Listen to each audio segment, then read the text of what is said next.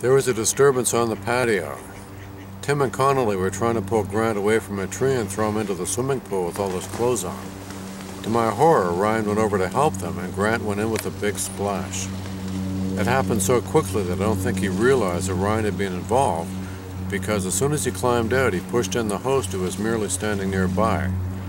The man emerged looking unhappy at the disintegration of his soiree. Connolly then shoved in Tim and talked about dunking 75 year old Patrick, but thankfully didn't follow through.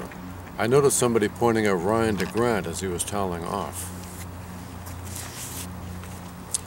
I don't know why I had to get involved with these people after I'd asked him to steer clear, but after that, there he was, crouching by the pool talking to Bill Connolly while the poet treaded water.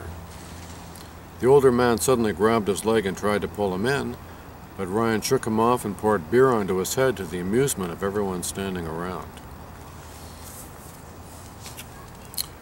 For the next half hour or so, Connolly attempted to avenge that indignity by trying to wrestle Ryan into the water, on one occasion enlisting Grant's son to lure him outside on some pretense while he was with me. So, there I was, sitting by the open door, sipping some wine, when Ryan and Connolly fell into the room from the patio and crashed to the floor by my feet. Caviar paused in midair. I was mortified.